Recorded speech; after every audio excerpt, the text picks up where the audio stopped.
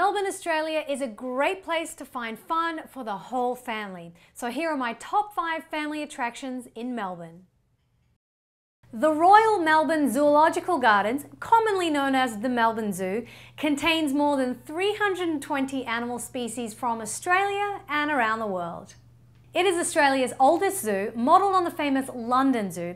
Each year, many schools visit the zoo because of its immensely popular educational program, encouraging young minds to conserve animals.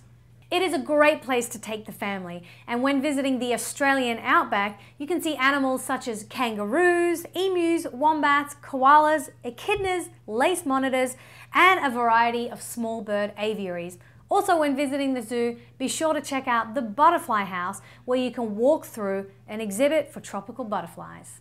Tickets for adults are about $25 and kids tickets are about $13. You can also purchase family tickets, which I definitely encourage, but be sure to check out the website for exact pricing when planning the budget for your trip.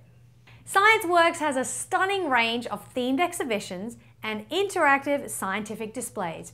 You can experience live demonstrations, informative tours, and plenty of hands-on activities for the kids.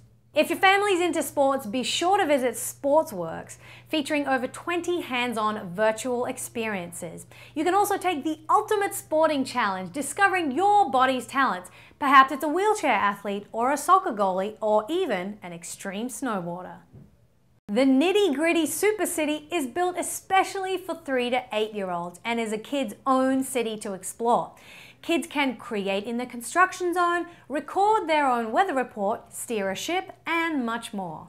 Science Works also features the Melbourne Planetarium, which will take you to the stars and beyond while reclining in a comfortable seat. It also features the Lightning Room, which will teach you how lightning is made. Now, keep in mind additional charges may apply when visiting either of these two exhibits. Science Works is open daily from 10 a.m. to 4.30 p.m. Kids ages 3 to 16 will always get in free, and adults are only $8. The Great Ocean Road is on the southwest coastline of Victoria between Moonlight Head and Port Fairy. It's a very treacherous section of the coast, claiming more than 180 ships, earning it the nickname Shipwreck Coast. The Shipwreck Discovery Trail is a great place to visit with a family where you can actually still see some of these shipwreck sites, such as the Marie Gabrielle and the Fiji. To get a better view of the Great Ocean Road, you must visit the lighthouse located on the point of Cape Otway.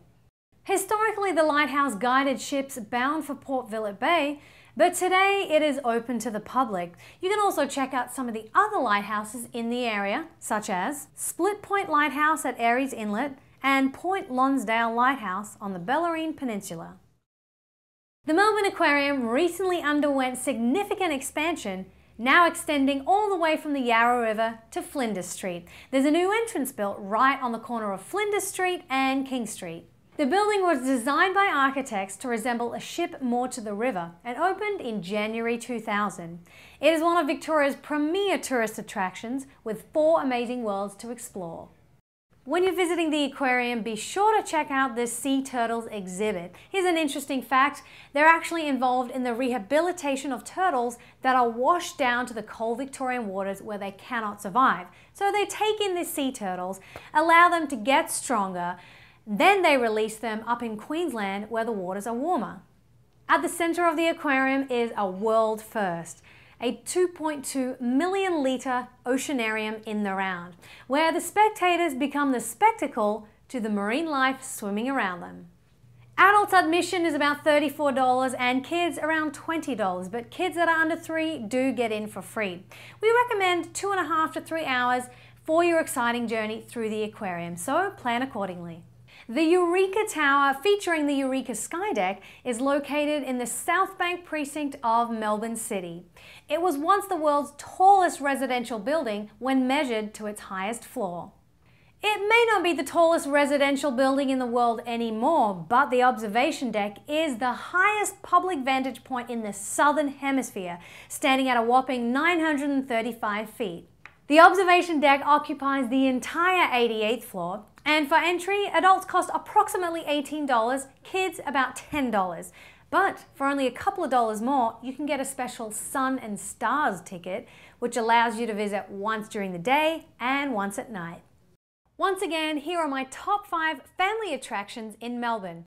Melbourne Zoo, Science Works, the Great Ocean Road, Melbourne Aquarium, Eureka Skydeck 88.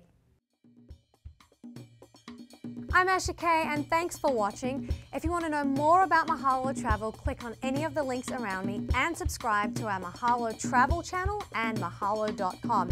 If you have any recommendations, please send us an email, requests at mahalo.com. I'll see you next time.